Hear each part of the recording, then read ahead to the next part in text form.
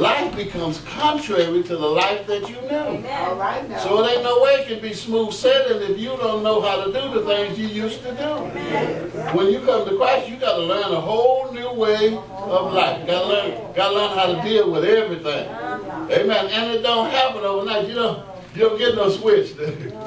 Go from living out in the carnal world to living in the Christian world. They, they, they don't move you out of the carnal house into the Christian house where everything's all right, somebody pay all the bills and wipe out all the bad things in your life. It just don't happen.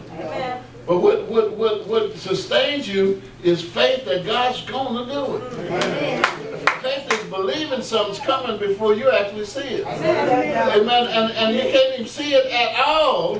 But because I know who God is, I know He gonna see me through. Amen. Y'all, y'all know what I'm talking about. Because we, when we get in a, in a bind, faith got to go out the window. We're gonna we're gonna hang it out the window with the rest of that stuff, and then we're gonna go for what we know.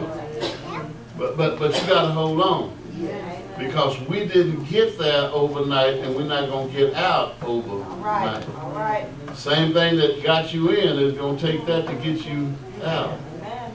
Amen. You're gonna have to go through some things. Y'all, y'all don't know what I'm talking about, I know, but but when you first got out there in the world, you know how folks used to trick you? Mm-hmm. You know, they, they tell you, yeah, drink some of this this vodka, it won't do nothing to you. And you took a big shot and it, it hurt going down and head got to swimming. They just lied to you, but you gutted it up because you don't want to seem like the oddball. Amen. And you know, when I when I used to go out, I, I didn't like beer, but all my friends were beer drinkers. And I could drink maybe one or two a night, but they drank one or two every 30 minutes. And, and, and y'all may have not been way about the rounds, but with us, we everybody had to buy a round. And when the first person got through with they were ordering another one. And when the next one got through, you, you, and so it's always somebody could gulp them down, but I wasn't one of them. You. So when they got through, they were they were drunk five or six, and I got five or six sitting in front of me. Uh-huh. You know, I'm thinking, there's something wrong with this picture, so I got to hurry up and catch up.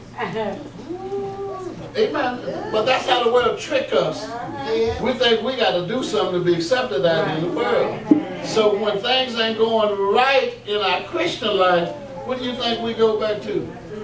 Yeah, you better come on down here with me. you know, we go down here and Mr. Charlie don't ain't looking, we snatch all that stuff. You better come on down here with me. And there we are going, trying to make it on our own. And of course, whenever you take what don't belong to you, sooner or later somebody gonna come take you. Now. Amen. And trouble builds up and, and, and, and, and all kinds of emotions set in because, you know, when you mess up, you don't want nobody to know you messed up, but everybody know already. So you keep messing up, trying to get out of the mess up, and you just get in a bigger mess up. But when you come to God, you gotta leave the messing up alone. And let me tell you something else. Once you have repented, you don't have to keep repenting of the same thing no more.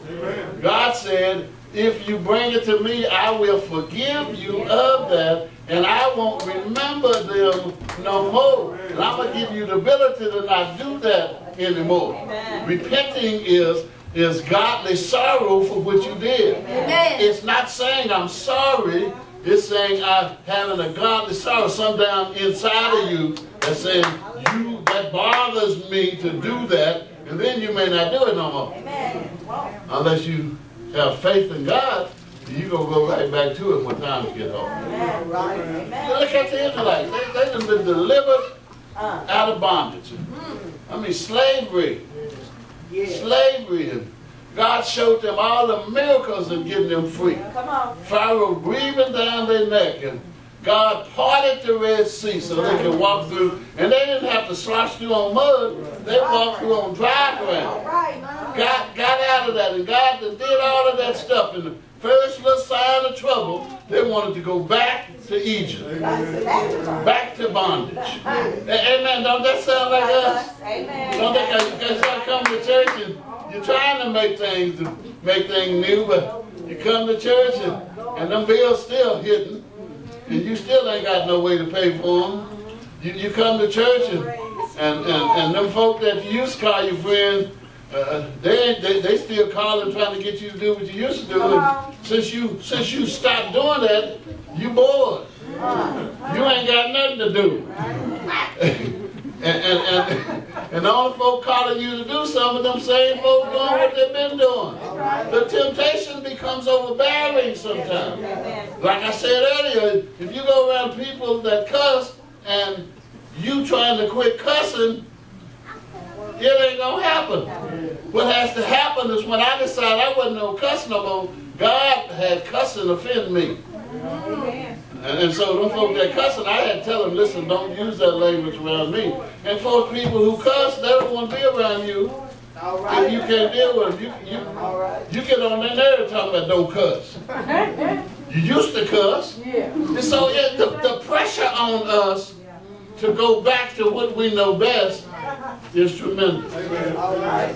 And, and, and, and if we don't have faith, and if we're not secure in our faith, if we don't know for sure that, that I, I may have to be here in this condition for a long time, but God is going to make a way for me. If we don't know that, Amen.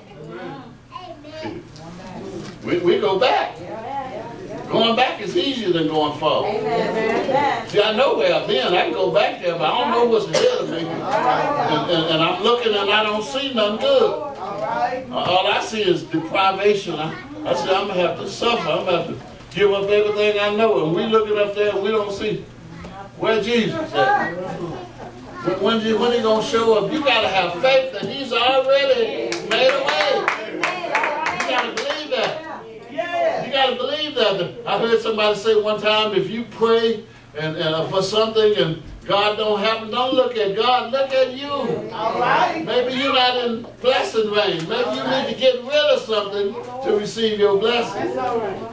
You gotta get to be secure in your faith. Amen. We, we look at the scripture, Ni- 19 says that, uh, in, in essence, I'm gonna tra- translate it for you. It said that that was a time when nobody but the high priest could go into the, the temple and the holy room. That was a room set aside. Uh-huh. And that room was covered up by a curtain.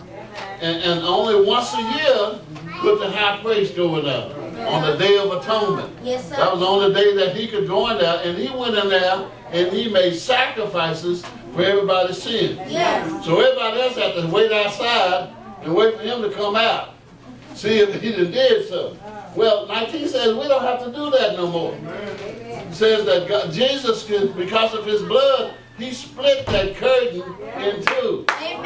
that anybody now can go to the Lord at any time. So, so when you when you try to change your life and things get a little little hard, fall on your knees and go to the Lord in prayer. And let me tell you, He done promised that He would hear your prayer. Yes, he Now will. He said you may have to wait for an answer, but I'm gonna hear you. You gotta be secure in your faith to believe that God heard my petition, Yeah. that He know what I'm going through, and that He got the power to fix it.